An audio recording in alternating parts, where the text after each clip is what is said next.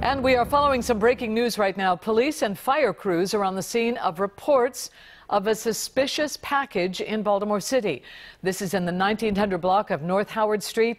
The streets are shut down around that area. Of course, WJZ will continue to follow this story and will bring you any updates when we get them.